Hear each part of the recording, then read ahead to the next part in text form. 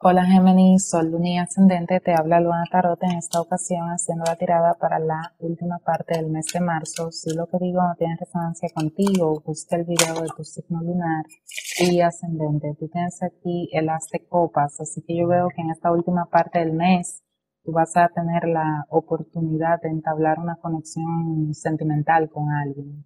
O sea, yo siento que hay alguien que a ti te va a hacer una oferta, una propuesta, una invitación, o sea, como que puedes tener una cita, sería como la primera cita con alguien. Eso para algunos de ustedes. Para otros de ustedes, yo simplemente siento que hay alguien en tu entorno que está desarrollando eh, sentimientos por ti. O sea, puede ser que esta persona haga una demostración de interés. Yo también siento que esto va a ser una oportunidad para tú sanar algo o una oportunidad de quererte a ti misma o a ti mismo como una oportunidad de apreciación, autovaloración, etc. Entonces, tienes aquí el ermitaño, el cinco de copas, eh, la fuerza, el loco, el cinco de bastos, el tres de oros y la reina de oros. Mira, con el ermitaño aquí, yo siento que antes de tu poder aceptar esta oferta, esta propuesta, tú vas a tener que lidiar contigo misma o contigo mismo. O sea, tú vas a tener que enfrentar tus propios demonios.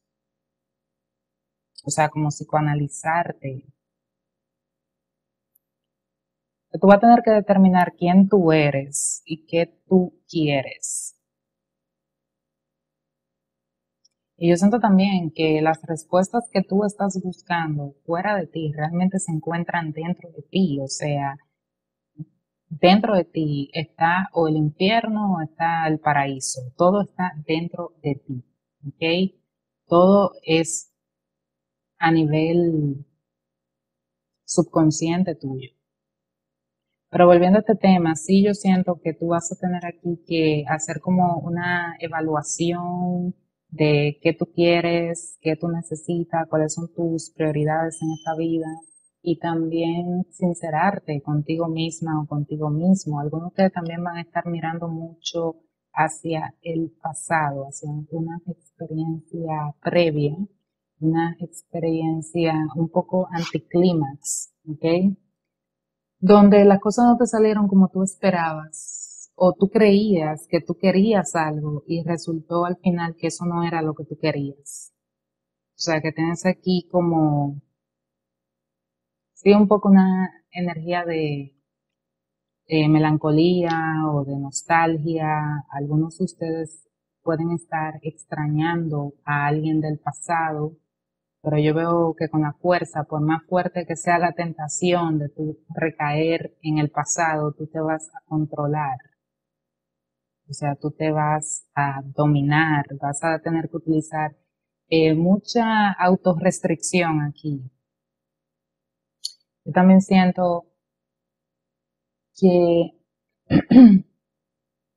tienen que tratar de mirar hacia adelante porque es que algunos de ustedes no, están viviendo en el aquí y el ahora, porque todavía se están lamentando por el pasado y no se están dando cuenta de lo que tienen eh, delante de ustedes, ¿ok? Y yo siento también que en cuanto a esta nueva oferta se refiere, tú vas a tener también que usar toda tu valentía, coraje, para tú lanzarte, porque hay algo aquí como medio riesgoso, o sea, es como tú jugarte la suerte, o sea, tú no tienes garantías con esta persona, o sea, que es un riesgo que tú vas a tomar, tú vas a dar un salto de fe, ¿ok? Así que eh, tú vas a tener que determinar qué tan cómoda es esta oferta, si te resulta cómoda, conveniente. Y si es así, entonces tú vas a tener aquí que simplemente jugártela lanzarte, esperar lo mejor. ¿Ok? Vas a tener aquí que ser bastante optimista, eh, positiva o positivo. O sea, un poco idealista aquí. lo cual puede ser difícil para ti, especialmente si tú todavía tienes cosas que sanar de tu pasado.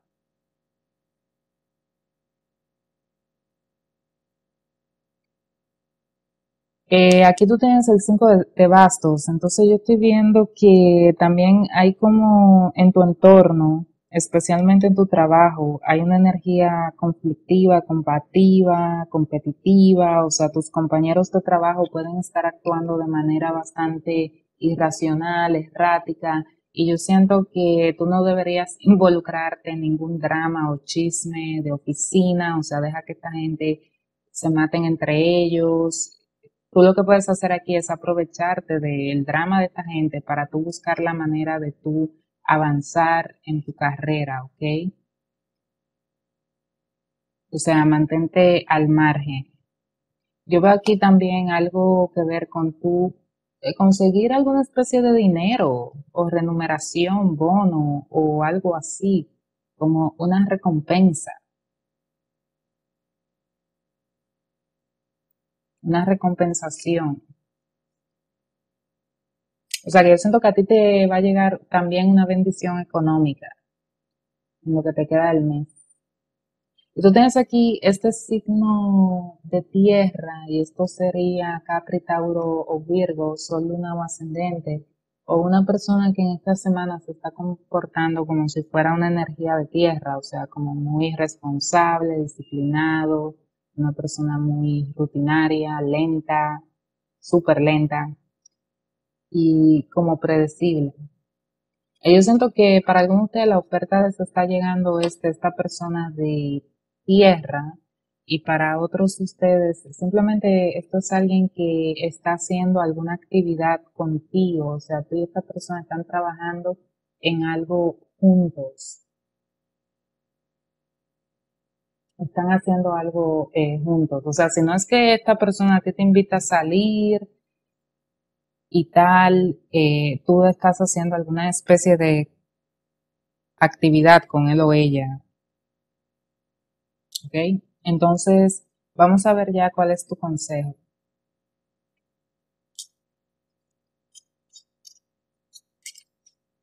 Géminis. Tú tienes aquí enfoque. Algunos de ustedes también podrían estar lidiando con alguien de un signo de fuego, tal vez. Pero mira, yo siento aquí que con esto de enfoque, te están diciendo que tú tienes que tratar de enfocarte en lo positivo. O sea, en las cosas buenas que te han ocurrido a lo largo de tu vida, no tanto en lo malo, porque si tú te enfocas únicamente en lo negativo, yo siento que tú vas a manifestar más de lo mismo. A ti solamente te hace falta es saber qué tú quieres y qué tú no quieres y punto. Después no tienes que seguir eh, buscándole la quinta pata al gato. Con que tú establezcas cuáles son tus parámetros, cuáles son tus reglas, cuáles son las pautas que, que tú usas para elegir a la gente, con eso es suficiente. ¿Ok? Y yo siento también que tú tienes que enfocarte en, especialmente si tú estás en un estado depresivo, tú tienes que enfocarte en salir de ese estado depresivo. O sea, no te acomodes en una situación en la que tú eres infeliz. O sea, no te pongas cómoda o cómodo, o sea, no te acostumbres a eso. Busca la manera de tú romper con esa, eh, ese estado mental, ¿ok? Si tú no estás contenta o contento con tu vida, identifica qué es lo que te está amargando y cámbialo, termínalo o modifícalo. ¿Ok? Lo mismo que trata de fijarte en lo positivo que tienen las eh, personas que a ti te rodean o una relación en particular. O sea, enfócate en lo bueno. Y si no hay nada bueno en esa relación o en esa gente, entonces suéltalo. Pero hay una necesidad aquí de tú establecer tus prioridades, tus necesidades y tus deseos y no conformarte con menos de ahí. O sea, simplemente saber qué tú quieres en esta vida. Entonces, eso es todo para ti. Bye bye.